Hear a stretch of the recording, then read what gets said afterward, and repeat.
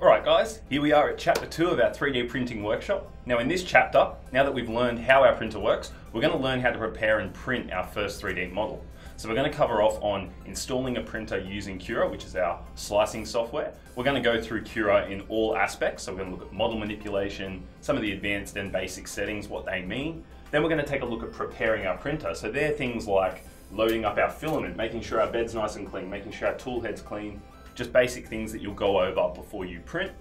And then we'll take a look at what happens at the start process of our print, at the end of our print. We'll take our print off the bed. So we'll go through the process where you can take your print off the bed without damaging yourself or your printer. And finally, we will take a look at the results, maybe do a side by side of some quick and standard and high quality prints. So let's jump into that by getting Lulzbot's edition of Cura installed. Now that's the one we're going to be using because we're using a Lulzbot printer. If you're using a different 3D printer, just go ahead and grab the recommended slicing software for them. Most of the things that we'll be changing are all standard across all slices. We've just got the Lulzbot version for the Lulzbot printer.